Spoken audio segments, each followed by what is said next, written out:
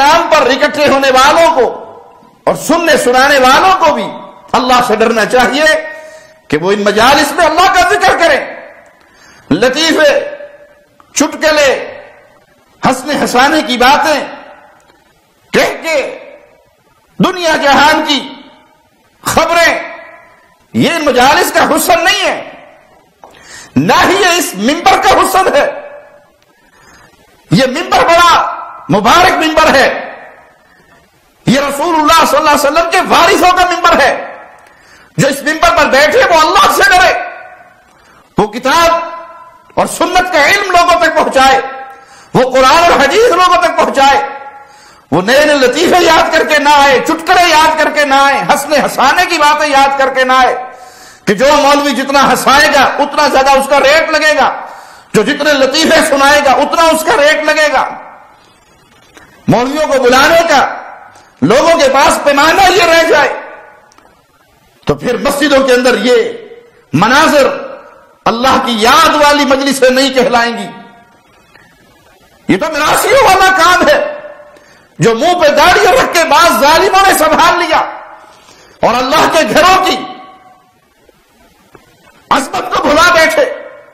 اور یہاں آ کے صرف فضول باتیں ہنسانے کے پروگرام بنا کے آتے ہیں۔ یہ ان ممبروں پر بیٹھنے والے اس کے حقدار نہیں ہیں۔ یہ بیٹھنے والے بھی مجرم ہیں اور ان کو بلانے والے بھی مجرم ہیں۔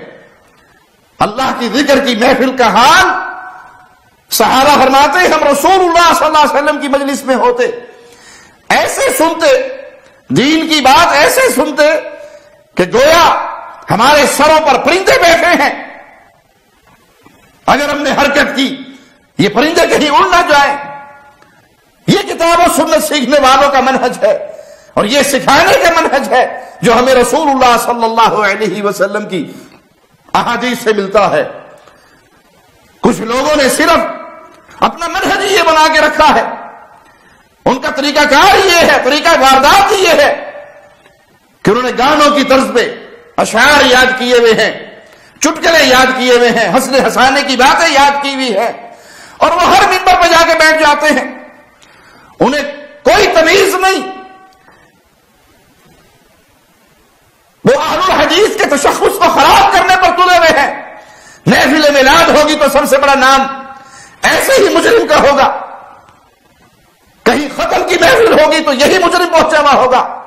کہیں عرس کی مجلس ہوگی کسی کے چالیسویں کی مجلس ہوگی۔ یہ ایسا قابلہ ہے جو ہر جگہ پہ فٹ آ جاتا ہے۔ یہ ایسا مجرم ہے۔ جو شیوں کی مجلسوں کی رونق بھی بنتا ہے، قبر پرستوں کی مجلسوں میں بھی جاتا ہے۔ کہیں زنخے ناچ رہے ہو تو یہ وہاں پر ہی بیٹھا ہے۔ بے حیا عورتوں کے درمیان بھی بیٹھا ہے۔ اور نام اس نے مولویوں والا اپنا لیا ہے۔ تو یہ ٹکڑوں کے پجاری، پیسوں کے پجاری اہل الحدیث کے تشخص کو برباد کرنے والے مجرم۔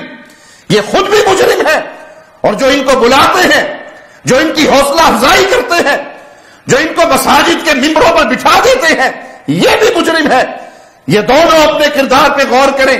قیامت کے دن اللہ کے سامنے کیا جواب دو گے؟ یہ مجلس ہے تو اللہ کے ذکر کی مجلس ہوتی ہے۔ ان مجالس کو فرشتے اپنے حسار میں لے لیتے ہیں، اپنے پروں پہ ڈھانپ لیتے ہیں۔ ان مجالس کا ذکر اللہ کے ہاں ہوتا ہے۔ اور اس ان مجالس کا مصداق وہ ہے جن پر یہ حدیث فٹ آتی ہے کہ اگر تم مجھے انسانوں میں یاد کرو گے، میں تمہیں ملائکہ میں یاد کروں گا۔ شب گریزاں ہوگی آخر، جلوائے خورشید سے۔ یہ چمن معمور ہوگا نغمائے توحید سے۔